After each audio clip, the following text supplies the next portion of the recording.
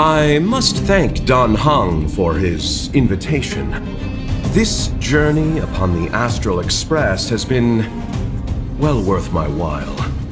Interstellar warp jumps with merchants are often dull and rarely ever feel like an actual journey. The Astral Express. The Cloudstrider really was an Aeon of taste. Oh, forgive me. I forgot to introduce myself. I'm an interstellar merchant. My Xianzhou registered name is Luocha. I met an acquaintance of yours several days ago named Dan Heng. He invited me to board the Express should I have the time, and so here I am. Astounding. The retro design of this locomotive, the comfort of its cabins, if only our own spacecraft could be modified in such a way.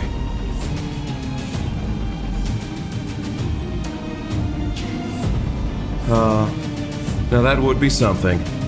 But on a merchant ship, load, security, and sterilization take precedence over creature comforts.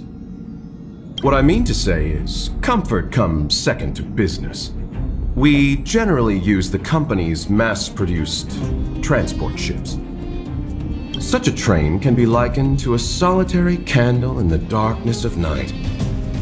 One may peer upon civilizations where strife, hardship, desperation, and sorrow exist seemingly in a separate plane of existence.